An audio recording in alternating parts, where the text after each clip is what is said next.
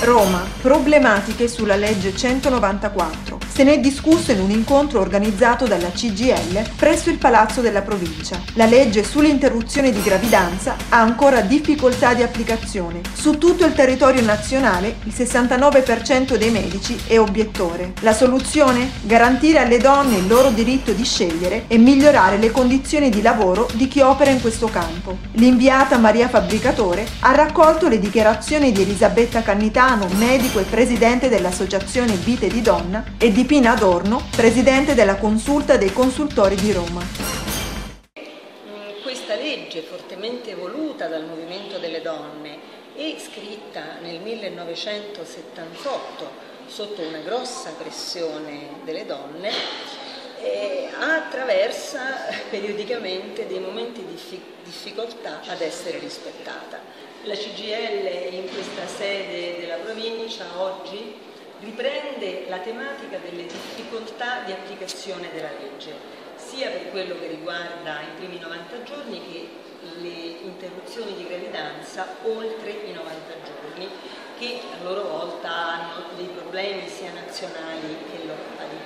Raccogliendo una serie di istanze che il sindacato presenterà come proprie alla Regione per poter effettuare veramente fino in fondo la libertà di scelta delle donne.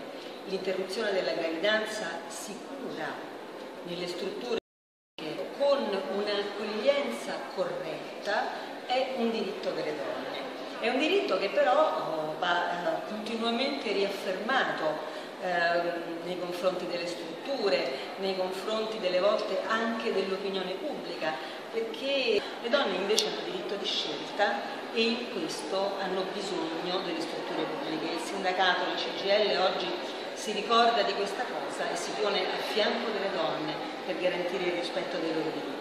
Sul 194 e sull'obiezione, i consultori hanno un tasso di obiettori abbastanza basso, gli ospedali hanno un problema più grosso si dovrebbero applicare le norme che ci sono e si dovrebbe soprattutto da parte della Regione e delle ASL, dei direttori generali delle ASL, cercare di organizzare le cose in modo che gli obiettori che eh, sono legittimati dalla legge nazionale a fare obiezione di coscienza, non è, non è che eh, un decreto regionale può superare la legge nazionale, però la regione e i direttori generali delle ASL hanno eh, sicuramente degli strumenti per incentivare il passaggio ad ambulatori e altri servizi che spetta ai consultori, per fare sì che gli obiettori negli ospedali per esempio eh, non possano, se fanno obiezione, non possano avere ruoli apicali e fare il primario. Ecco, io credo che creare una rete con, eh, dando ad ogni eh, organismo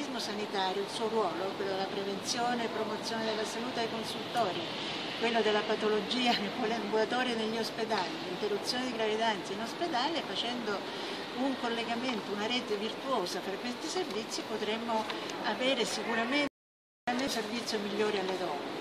E un'ultima cosa, eh, la consulta ha eh, lanciato una petizione per la contraccezione gratuita nei consultori, perché il 194 non parla solo di aborto, ma parla di maternità responsabile e cosciente.